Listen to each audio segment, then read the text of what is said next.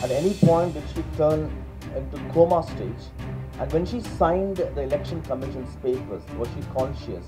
And who are the people she was in touch with who were physically interacting with her during the treatment time? Doctor, to put an end to all these controversies, why don't you release the CCTV footages?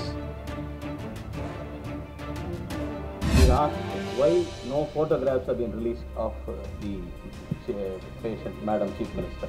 She underwent a physiotherapy actually because many of the press release quoted that she's uh, taking physiotherapy and uh, you are telling that uh, she's physically ill and uh, she's giving only sign languages. So how come she took physiotherapy? That all I heard. No, and the marks on the cheeks, um, I, I'm, I'm not aware precisely what you're talking about. Question number one பதப்படுத்தப்பட்டதா ஆமாம் பதப்படுத்தப்பட்டது December நான்காம் தேதி எப்பொழுது மாரடைப்பு முதலமைச்சருக்கு ஏற்பட்டது அந்த நேரத்தில் அங்க யார் இருந்தாங்க If you if you had thought it was so important, why didn't you hold this conference and why, why were you waiting for his arrival for two months? If you had thought that it was so important, you could have asked him to come to Chennai even before this and could have had all the rumors dispelled even before this. there is a change in the political situation in the state right now. So uh, we just wanted to know if Two questions that you asked. அவங்களுக்கு எந்தவித ஆம்பிகேஷனுக்கு கால் எடுத்தார்களா என்று உங்கள் சந்தேகம்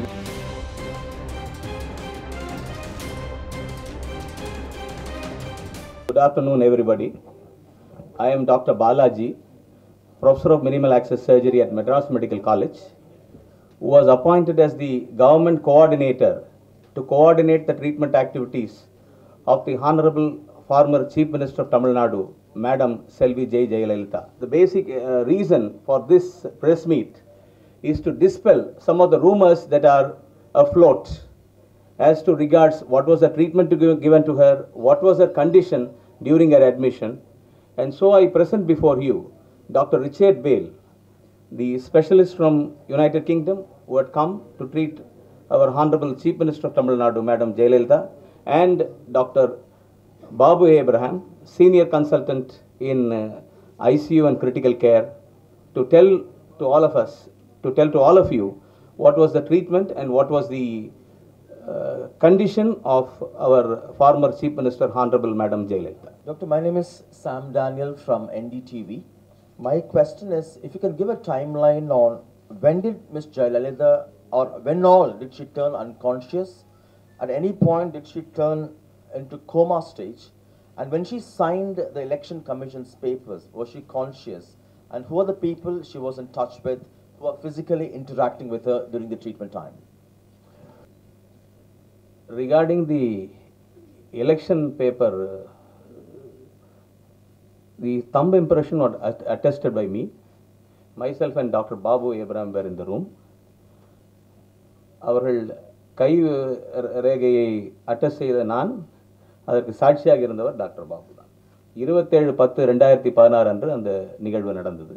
I read out the letter from the election commission to her and since there was a அவர் கையில் IV fluid சென்று கொண்டிருந்ததால் அதில் கையெழுத்து போட சிரமம் இருந்ததால் கையும் வீக்கமாக இருந்ததால் அது சாத்தியமாக இல்லை என்பதால் அவரது கைரேகை பதிவு செய்யப்பட்டது. அதை நான் அட்டஸ்ட் செய்தேன் அதற்கு சாட்சியாக டாக்டர் பாபு அன்று அவரோடு இருந்தார் ஷி வாஸ் கான்ஷியஸ் சார் நான் அவரோடு பேசினேன் Any amputation been done or transplantation? And what are those marks on her cheek?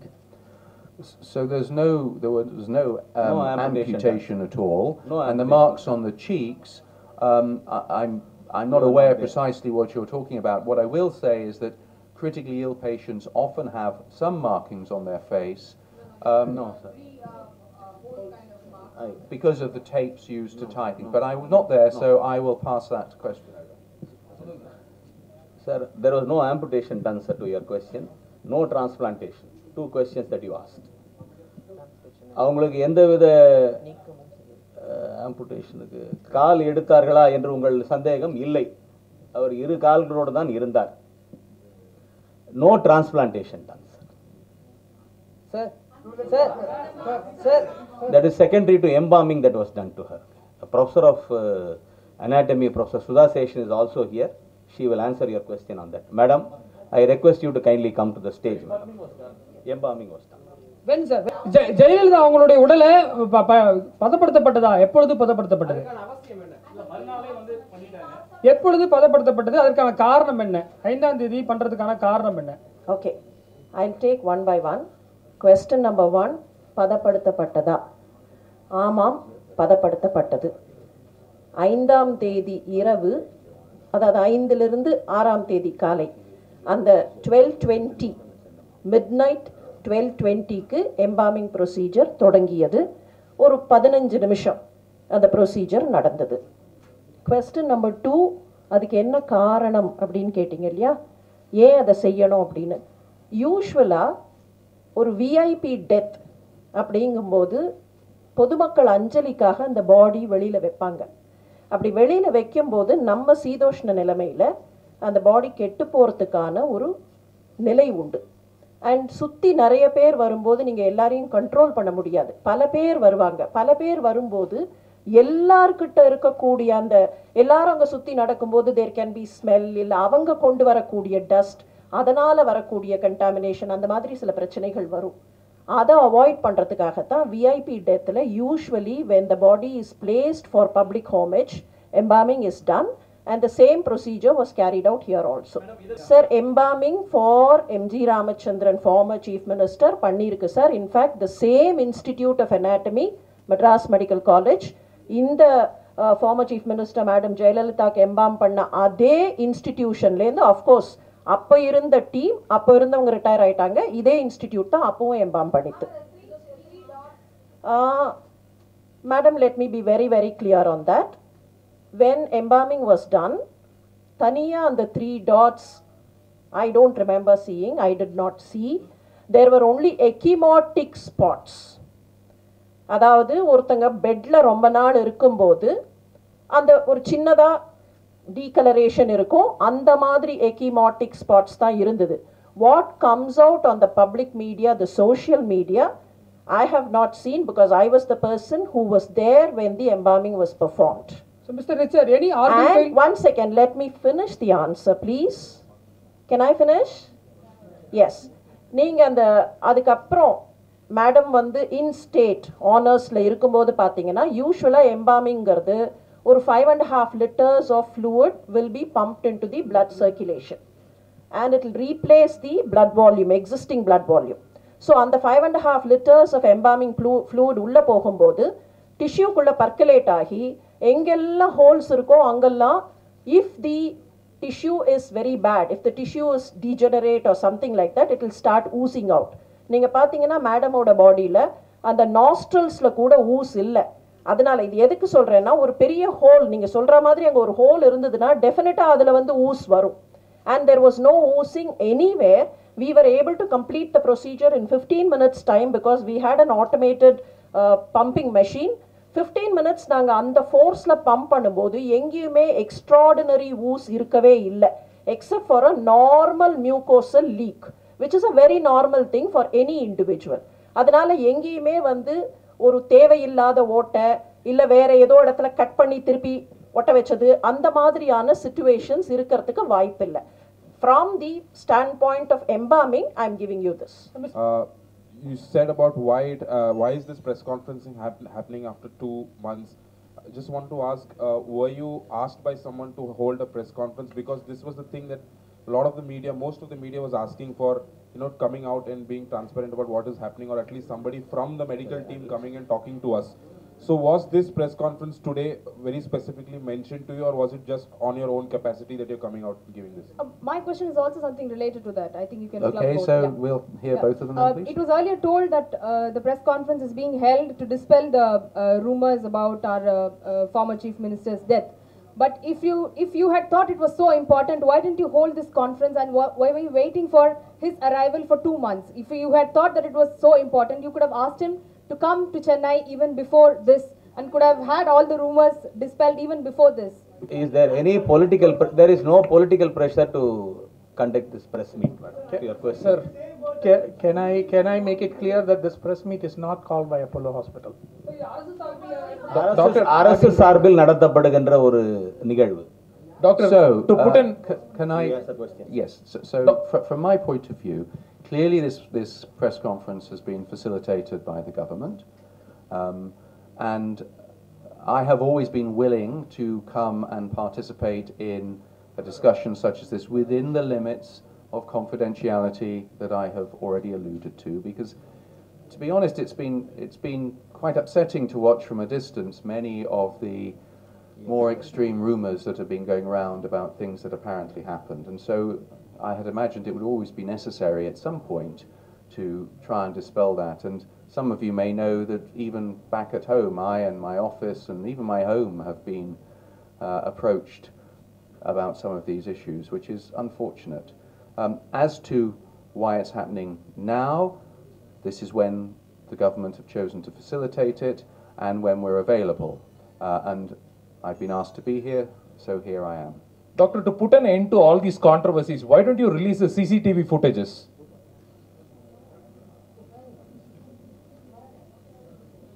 So again, um, the detail of that is, is, would clearly be a response for Apollo, but in the general sense, firstly, you do not have CCT in patients' rooms. Secondly, any information that is there, even if it were to exist, which it doesn't, um, you would never release. I have explained to you, I think, that you do not take photographs of critically ill patients. Can you imagine if you or anyone you loved or cared about, critically ill in an intensive care unit or recovering, was being photographed and their images shared, how would they or you feel? We just do not do that.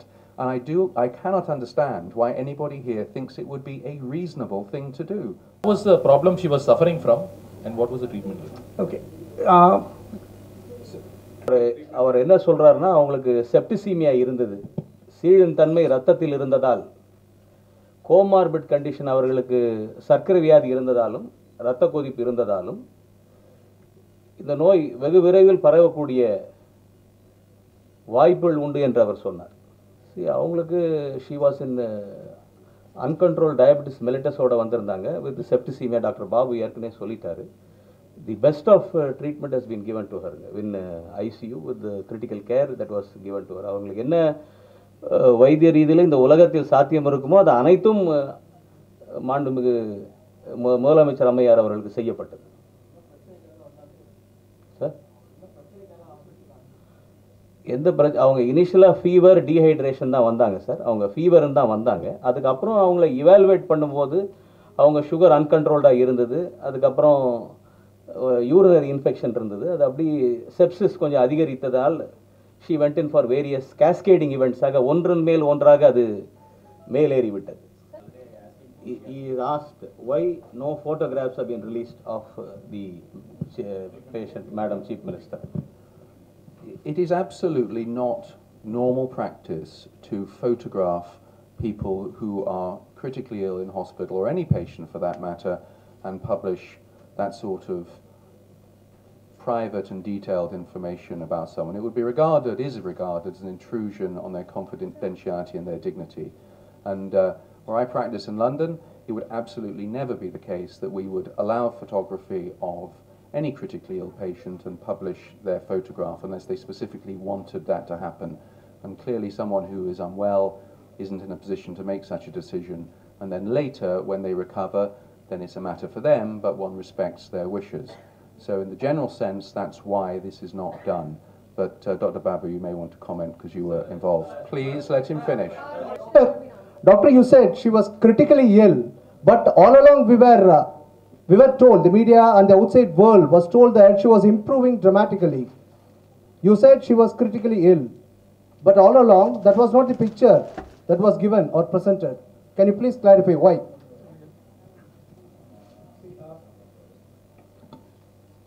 both of us are doctors here. We are not policymakers. If you can ask us medical questions, we'll be happy to answer. Unfortunately, we will not be able to answer those questions which are hospital policy or what, whoever the policymakers are. Please ask us medical questions. We'll try to answer, as uh, Professor Richard Beale said, within the purview of her confidentiality. And you know there's a court case going on, so I will not be able to uh, you know, uh, divulge everything. I can't answer that question of yours because it's not mine. Can I ask Sa- answer Sam, please? So, uh, Sam, um, uh, she I cannot give you finer details or time uh, um, uh, or dates because I don't have uh, records with me and I'm, my memory is not that good. So she, uh, she, when she came to us uh, to the emergency room, she was drowsy, but with treatment appropriate, she woke up. She was talking, she was eating, she was interacting with officials for about a week, I would say. Where, by which time, because her sepsis was slowly, you know, making her tired, her breathing was getting worse, she got intubated. That is, a tube was put into her throat so that she will be connected into a big ventilator. So once she was put on a big ventilator, then she we had to give her sleeping medicines because otherwise it becomes com- uh, uncomfortable for her. So from that time onwards, for about 10 days, she was on sleeping medicines and not able to communicate continuously. But when we uh, remove the sedation and wake her up, she's able to communicate by signs, hands, because there's a tube in the throat. After that, we did a procedure called tracheostomy. I again can't remember the date off my head. After the tracheostomy, usually we patients come off the sleeping medicine. They are fully awake. From that time onwards, I would say it would be about 10 to 12 days after we put did the intubation. She was again up, awake and appropriate and communicating by sign languages, and we can lip read her. So most of the medical personnel could understand what she is saying by lip reading. That's how. And Sir? you'll. So, what's the reason for her sudden cardiac arrest and uh, did she underwent a physiotherapy actually? Because uh, many of the press release quoted that she's uh, taking physiotherapy and uh, you are telling that uh, she's physically ill and uh, she is giving only sign languages. So, how come she took physiotherapy? That and all I have to know. So I think it's, it, it's worth understanding a little bit more about what happens in these sorts of disease processes because a lot of the misunderstanding I think is because people just don't, and why would you, understand how things work. So when someone has had this sort of illness and is on the ventilator and then is, um, has been stabilized and is on treatment, the process we follow is we wake them up, we try and reduce the support from the ventilator, and we start physiotherapy. We try and start the rehabilitation process as quickly and as soon as we possibly can because people who are sick lose muscle bulk, they lose strength, and so on. So you want to have them working as much as you can to try and encourage that improvement process. Now, that's managed by the physiotherapists, the bedside nurses, and to some extent the doctors are involved, although it isn't our primary skill set, and supported by the dietitian and all the other members of the multidisciplinary team who help with this. And so all these things go along at the same time. Physiotherapy isn't an all or nothing thing. It starts off very gently. There's that balance between not overstressing the patient, but at the same time making sure they're moving forwards and they're starting to regain a bit of strength. So that's exactly what happened here in a very focused and skillful and meticulous way. And so she was gradually getting stronger. So to begin with, someone is lying in a bed, and a little later they can sit, and they can sit on the side of the bed with support, then with less support, then with no support, then they stand a little bit, and they take a few steps. This is the process, and that process was really going on from very early in her treatment all the way thr- through to her tragic collapse and completely unexpected collapse at the end. Now, why did that happen? We don't know, except we have a lady of more mature years with chronic diseases, hypertension and diabetes that make you vulnerable to these things, and with recovering sepsis, and who'd had an infection on her heart. So, unfortunately, a sudden heart attack or stroke or some other event like this can, and tragically did in this case, happen. December நான்காம் தேதி எப்பொழுது மாரடைப்பு முதலமைச்சருக்கு ஏற்பட்டது அந்த நேரத்தில் அங்க யார் இருந்தாங்க உயர் சிகிச்சை பிரிவுல இருக்கக்கூடிய ஒரு அஹ், ஒரு நோயாளி அவங்க அவங்களுக்கு இந்த பொட்டாசியம் லெவலு ஹார்ட்டுக்குள்ள அனைத்துமே அஹ், பார்க்கப்பட்டு இருக்கும் இந்த நிலையில இதய துடிப்பு அஹ், திடீரென்று நிறுவத்துக்கு காரணம் என்ன sir The potassium level was not high on the day of arrest. Uh, it was checked in the morning, it was not arrest. She had a sudden cardiac arrest. I, a team uh, of doctors who were ta- taking care of that was there in the room when it happened. So it was a witnessed cardiac arrest. It was not a non-witnessed, it was a witnessed cardiac arrest. Sir அந்த முதலமைச்சர் இருந்த அறையில அவசர உபகரணங்கள் அனைத்துமே இருந்ததா அவங்க வந்து அவச உயர் சிகிச்சை பிரிவிலிருந்து தனி அறைக்கு மாற்றப்பட்டதா சொல்லப்படுது அந்த தனி அறையில அனைத்து உபகரணங்களும் வைக்கப்பட்டிருந்ததா? அனைத்து உபகரணங்களும் இருந்தன. எவ்வளவு நேரத்துல அவங்களுக்கு அந்த சிகிச்சை அளிக்கப்பட்டது? அதுக்கப்புறம் எப்பொழுது ஆபரேஷன் தியேட்டருக்கு அழைச்சு செல்லப்பட்டீங்க? இல்ல வேற எந்த இடத்துக்கு அவங்களை அழைச்சு செல்லப்பட்டீங்க? நான்கு இருபது அன்று ஞாயிறு மாலை நான்கு இருபது மணி அளவில் அவருக்கு சடன் ஏற்றில் ஃபிப்ரிலேஷன் இருக்கும்போது அன்று பணியில் இருந்த டாக்டர் ரமேஷ் என்பவர் அவர் அவருடன் இருந்தார். அவர் அந்த அறையில் இருக்கும் போதே அந்த நிகழ்வு நடந்தது. So she was immediately resuscitated and subsequently the entire team was at the bedside. Even echo ECMO was done at the bedside. And subsequently only she was shifted to the OT around 9:30 pm all resuscitative measures were done at the bedside in that room all facilities were available in that room sir இது இரண்டு மாதங்களாக இரண்டு மாதங்கள் சென்று ஏன் சந்திக்கிறோம் என்று கேட்டீர்கள் there are lot of rumours that are going around to quell it இவர் ஒரு நிகழ்வுக்காக இங்கே சென்னை வர வேண்டிய சூழ்நிலை இருந்தது இவர் மோஸ்ட் கிரிட்டிக்கல் டைமில் இவர் அவங்களுக்கு வைத்தியம் பண்ணதுனால் இவர் இருந்து செய்யும் போது இருக்கலாம்ன்றதுக்கு தான் இது. Quell all the rumours that are going around doctor Richard and that is around the expert is around so we thought this will be the opportune time இந்த டைம் கரெக்டாக இருக்கும் அப்படின்றது doctor Um, doctor, you said you were always willing to come for a press for such a press conference, and the government called you now. Uh, we are asking you this question repeatedly because there is a change in the political situation in the state right now. So uh, we just wanted to know if you were willing earlier to, or you were available only now. Can you please clarify that? My availability is limited. Um, it isn't possible for me to, to come just whenever, but clearly I would make time to come uh, as soon as possible when asked. As to precisely why this is the time that I've been asked, that's a matter for others, other than I think that clearly the feeling that these matters needed to be clarified after an appropriate period of time, after the initial grieving and mourning period had passed. More than that, I can't say, I'm afraid. I am not, as you know, a native of your state, and the subtleties of some of the things that go on here are not things I pretend to understand.